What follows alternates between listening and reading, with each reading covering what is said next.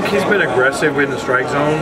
Like he's like all almost all of our guys. You feel like you've got to get ahead in the count, be able to pitch in, in in aggressive counts where we can dictate what we want to do.